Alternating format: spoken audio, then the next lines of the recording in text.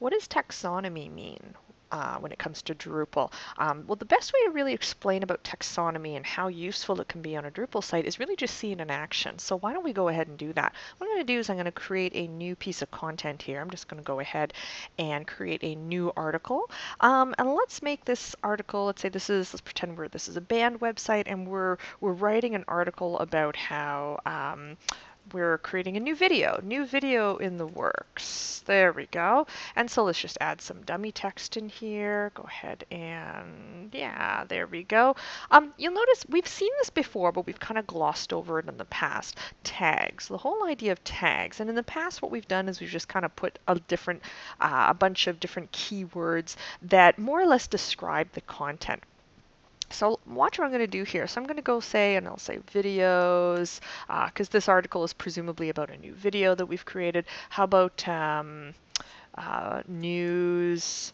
and then uh, I don't know. Let's just stick with video and news. Let's let's stick with that. Okay. So what I've done here is I've entered a comma-separated list of words to to describe the content. If I had a term that that included two different words, like let's say, oops, let's say band news, um, I would basically I can put that um, together and just separate all the different keywords or key phrases with commas. And Drupal will recognize that as, a, as an actual single phrase. It's not going to separate out the word band and news. So that looks good. We're going to go ahead and save that. I won't bother adding an image or anything.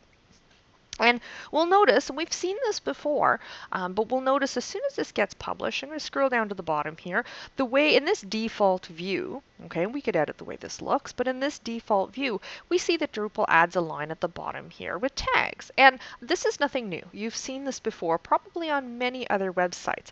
Tags here, and we see that each of these are links. We've got a tag uh, called videos, a tag called news, and a tag called band news here. Um, never mind about that being a little redundant. This is just an example. Um, what do you think would happen if we clicked on one of these? Okay, well the intuitive, you know, the intuitive answer here is that if I click on one of these, uh, I expect, anyways, anybody who's used the web often enough probably expects to be brought to a page where any content that has this tag will be listed there. So let's give this a shot. I'm going to go ahead and click on Band News. And sure enough, we see, and this is, if you remember from before, this is actually the teaser view, okay, which we can edit that as well too. We see every article that we've published on this site that happens to be tagged band news shows up here. And then we see this article that we wrote a couple weeks ago, welcoming Jane, our new guitarist. And here's our new article we just wrote now, new video in the works. Okay.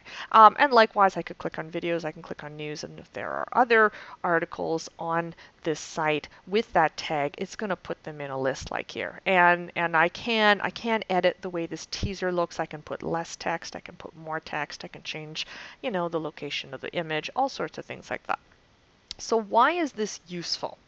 Okay, the reason this is useful is that this is yet another way that your user can interact with the content on your site and, and navigate through the content on your site. We tend to think of, you know, when we when we're just when we're not used to web development, when we're not used to designing websites, we tend to think, you know, it's hard for us to imagine how people actually interact with your content. You know, the obvious thing would be, oh, they use the search box. Well, not everybody does. Some people do, some people don't.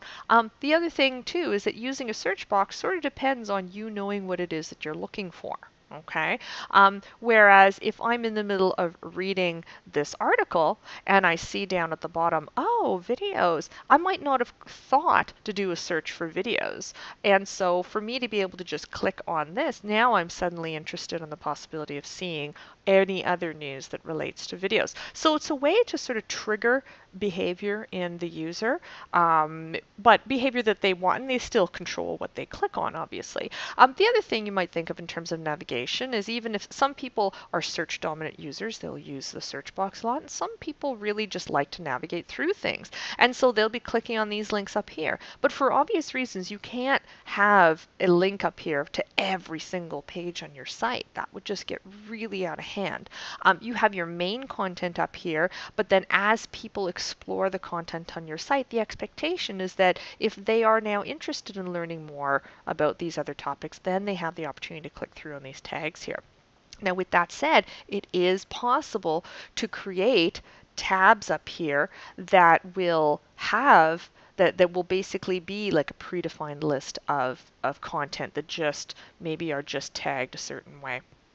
Um, so, I mean, but that's that's a little beyond what we're what we're doing in this screencast. What I just wanted to do was introduce this concept of taxonomies. So the the technical answer to the question, what is a taxonomy, is that really the taxonomy is just a practice of classifying content. And so therefore using tags, this is an example of taxonomy in Drupal.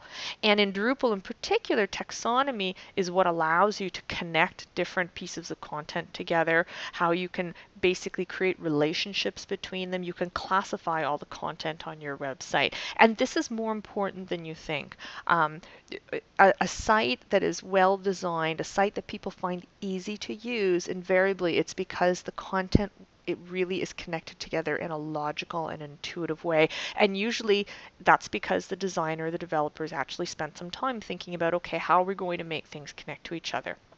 So how do you go about managing all this taxonomy, all this tagging and categorization and classification of the content?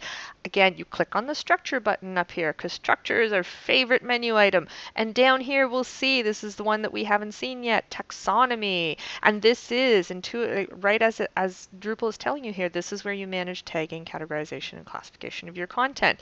And so you would click through on there and we'll see in here that we currently have one vocabulary, and that's how Drupal organizes all the taxonomies on your, your website, all the methods of categorizing content. It allow, Drupal allows you to create and have different vocabularies. And in this case, we the default vocabulary that's available to you is this vocabulary called tags. Well, that's not terribly surprising. We know what tags are. We've already been using tags.